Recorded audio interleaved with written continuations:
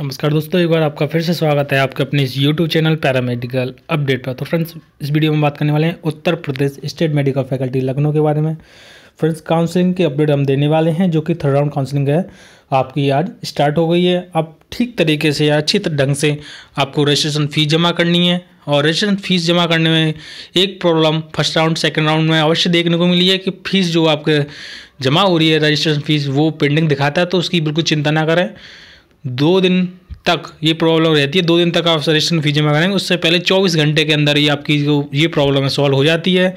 और उसके बाद से आप कॉलेज चूज़ फिल कर सकते हैं और लास्ट चांस है, इस बार आपको अच्छे से कॉलेज लॉक करने हैं, क्योंकि इसके बाद आपकी ऑफलाइन काउंसलिंग होगी, उसमें आपकी सीट जो मनचाहा कोर्स है, वो कम चांस रहते हैं कि आपको जो मनचाहा कोर्स है, वो मिल जाए। और यानी कि ये आप कह सकते हैं, ये आपके लिए लास्ट चांस है, जो आपकी मनपसंद सीट है, जो आप कोर्स करना चाहते हैं या जो कॉलेज चाहते हैं, अब वो आपका लास्ट चांस है। और इस बार आपको ज़्यादा से ज़्यादा कॉलेज फिल करने हैं, जो आपको कोर्स करना है वही आपको कॉलेज फिल करना है। ऐसा नहीं है, जो कोर्स आपको नहीं करना वो भी आप फिल करना है।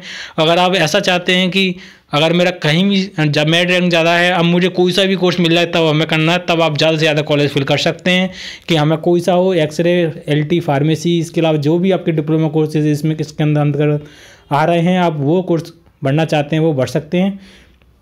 क्योंकि आपकी मेरिट रैंक ज़्यादा है, अगली बार का वेट करेंगे, तब भी यही प्रॉब्लम होने वाली है, क्योंकि आपका जो ये मेरिट वैसे ही सिलेक्शन होता है तो लास्ट बार भी आपकी यही प्रॉब्लम होगी। तो इस बार आप ज़्यादा से ज़्यादा कॉलेज आपको फिल करना है डिप्लोमा कोर्सेज वो फिल करना है। अगर सभी स्टूडेंट्स हैं, उनको मैंने बता दिया है, जो भी अपग्रेडेशन करना चाहते हैं, वो भी तुरंत ही इसका रजिस्ट्रेशन कर दें। क्योंकि अपग्रेडेशन करने के लिए ही यही मौका आपका लास्ट रह गया है। उसके बाद अपग्रेडेशन नहीं कर पाएँगे।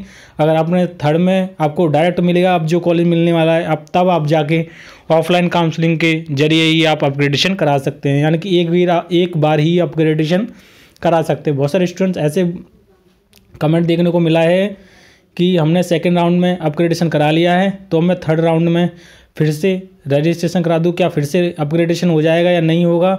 या मैं सेकेंड में करा दिया है अपग्रेडेशन करा लिया है, अब मैं ऑफलाइन काउंसलिंग में अपग्रेडेशन कर पाऊँगा या नहीं कर पाऊँगा? तो जैसे कि मैंने बताया, एक ही बार अपग्रेडेशन आप कर सकते हैं। तो फ्रेंड्स अब आपको Uttar Pradesh state medical faculty के ऑफिशियल वेबसाइट पर लेके चलते हैं कि आपको रजिस्ट्रेशन के लिए ऑप्शन कहाँ आ रहा है, कैसा शो हो रहा है। तो फ्रेंड देख पा रहे हैं, Uttar Pradesh state medical faculty की ऑफिशियल वेबसाइट पर अब हम आ गए हैं। नीचे स्क्रॉल डाउन करते हुए जाना है।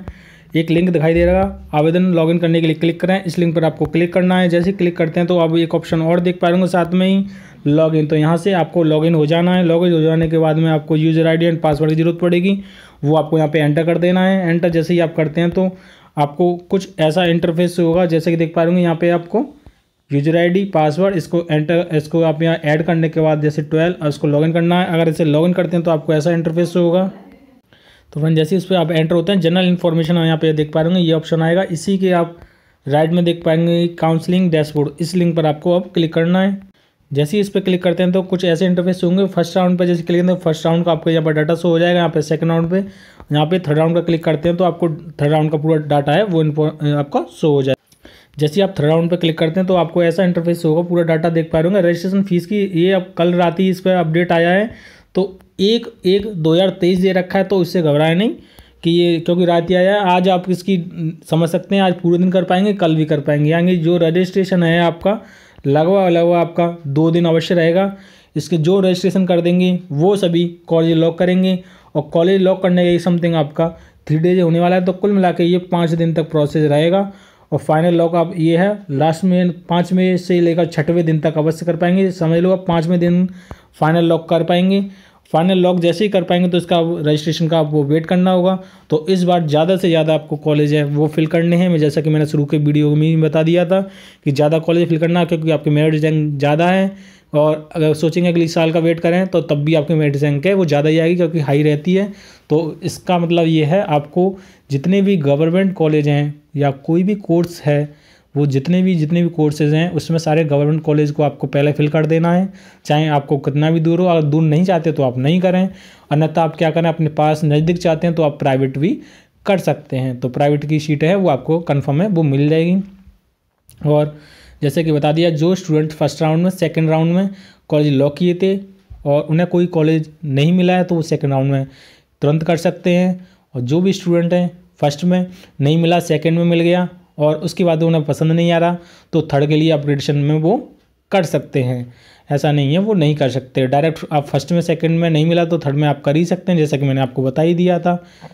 अगर आपने फ़र्स्ट में कॉलेज मिल गया था, या आपको सेकंड में कॉलेज मिल गया था, और आपने एडमिशन प्रोसेस पूरा नहीं कराया सिक्योरिटी फ़ीस जमा नहीं कराई, और आपने एडमिशन नहीं लिया है, तब आप थर्ड राउंड में रूल्स के अकॉर्डिंग आप पार्टिसिपेट नहीं कर सकते। अगर आपके में ये ऑप्शन शो हो रहा है तो आप ज़रूर करें। वैसे तो अन्यथा ये ऑप्शन वो नहीं खुल के आएगा।